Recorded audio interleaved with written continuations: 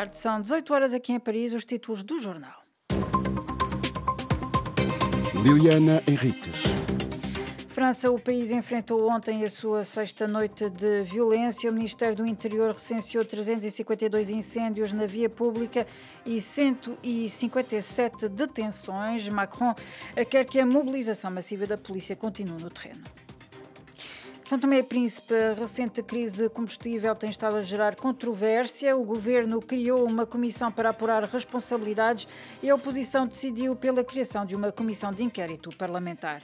Connosco no estúdio está Moussa Lechili na realização. E de imediato, as notícias. Bissau 94 FM Abrimos com a França. O país enfrentou ontem a sua sexta noite consecutiva de violência depois de Nael, um jovem de 17 anos, ter sido mortalmente baleado na terça-feira por um polícia em Nanterre, na região parisiense. Ao fazer o balanço das violências de ontem à noite, o Ministério do Interior recenseou uns 352 incêndios na via pública e 157 detenções contra 400 na noite anterior, uma situação que, apesar de uma redução sensível dos incidentes, concentra todas as atenções o chefe de Estado disse hoje que quer que continue a mobilização massiva de polícias no terreno.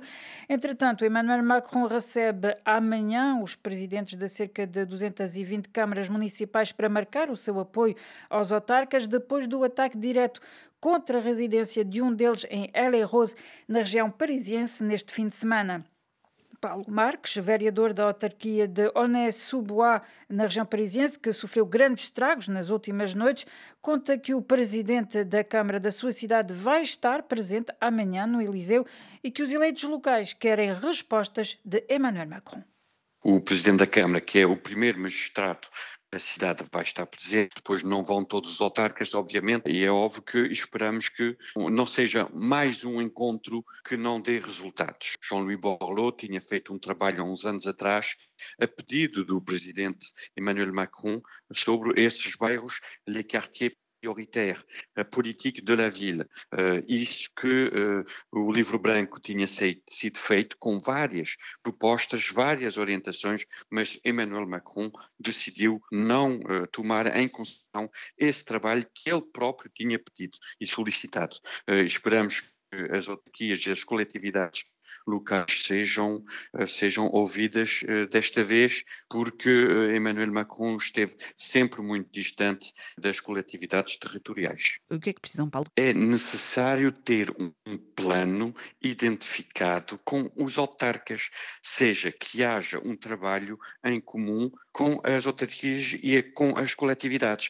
Cada autarquia, cada região tem a sua problemática, então têm que ser ouvidas e são várias tem que haver um real plano família, tem que haver um real plano juventude, um real plano de educação, tem que haver um real plano de instrução cívica, tem que haver um real plano de apoio ao trabalho uh, para a juventude, tem que haver um, um trabalho rápido era Paulo Marques, vereador da Câmara de Aulnay-sous-Bois, nas imediações de Paris, entrevistado por Catarina Falcão. Refira-se ainda acerca destas eh, violências que as autoridades francesas decidiram reforçar ligeiramente o dispositivo de segurança nos locais onde deveriam decorrer os Jogos Olímpicos do ano que vem. Página desportiva, o Campeonato da Europa Sub-19 de handball feminino vai decorrer em território romeno a partir desta quinta-feira, 6 de julho, com a seleção portuguesa que vai participar pela décima vez na prova, integrando o grupo B com a Alemanha, Islândia e Roménia. A RFI teve a oportunidade de falar com José António Silva, selecionador português da seleção principal e das sub-19. O treinador luso abordou os objetivos traçados para o Campeonato da Europa. É muito difícil antever. As equipas, elas são muito jovens, não estão habituadas a este nível de competição. Eu tenho aqui miúdas que estão com este nível de exigência pela primeira vez e algumas quase que estão no campo a chorar porque é um patamar que não estão de facto habituadas. Podemos fazer coisas muito boas, acredito que temos condições para isso, mas também podemos fazer coisas fracas, também pode ocorrer. Portanto, vamos tentar manter o nosso foco na evolução do nosso handball, trabalhar do ponto de vista físico, trabalhar do ponto de vista tático e tentar que daqui por uns anos possamos, isso sim, estabelecer um objetivo competitivo, que é esse o nosso objetivo mais tarde. Entanto, em relação às adversárias, Alemanha, Roménia e Islândia. Difíceis. A Alemanha e a Islândia ficaram acima de nós no último campeonato do mundo. A Roménia ficou um lugar abaixo de nós. No último jogo da atribuição ganhamos por um, mas agora joga em casa. Portanto, é um grupo difícil. Para ser muito sincero, eu acredito que nós podemos ganhar a qualquer equipa, mas também admito que as coisas não nos corram bem. Portanto, Vamos nos focar no nosso trabalho, vamos nos focar na nossa equipa, vamos focar no nosso processo e fazer com que o resultado seja fruto desse processo e não estarmos obcecados com qualquer objetivo competitivo. Era José António Silva, selecionador português, entrevistado por Marco Martins, que voltaremos a ouvir mais adiante no Magazine de Esporto.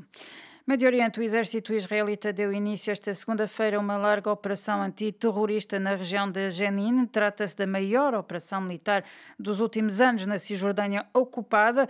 De acordo com o Ministério Palestiniano da Saúde, oito palestinianos morreram e mais de 50 ficaram feridos.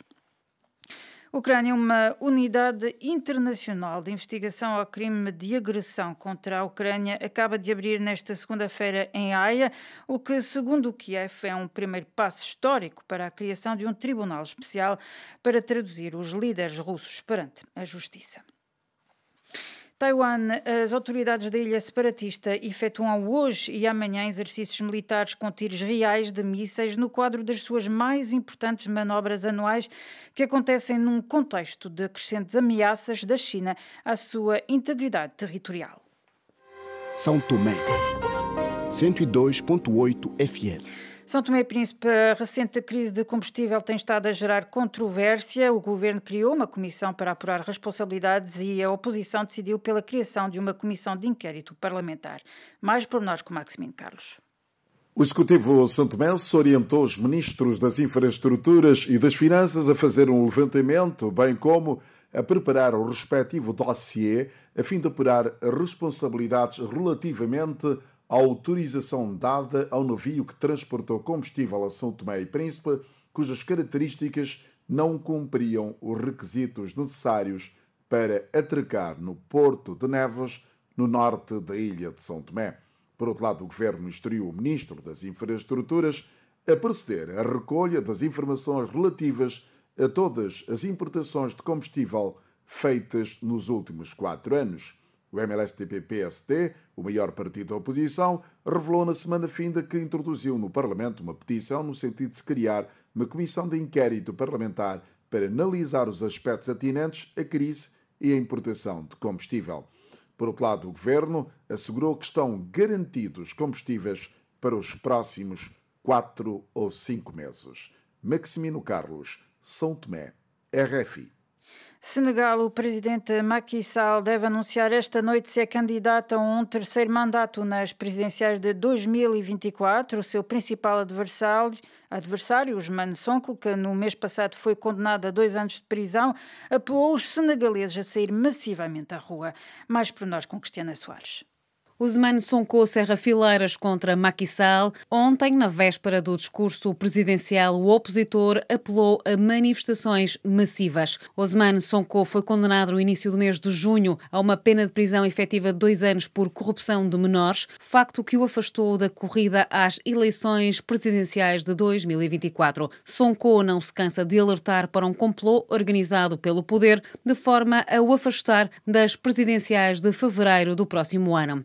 O poder refuta as acusações. Macky Sall foi eleito pela primeira vez presidente do Senegal em 2012 e reeleito em 2019. Em 2016 procedeu à revisão da Constituição. Os seus apoiantes apresentam-no como candidato a 2024, argumentando que a revisão constitucional colocou os contadores de Macky Sall a zero.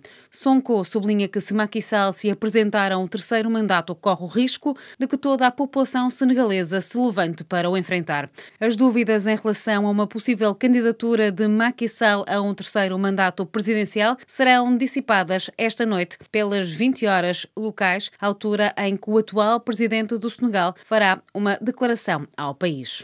E assim com o Senegal também fechamos este segundo noticiário. A informação continua dentro de instantes.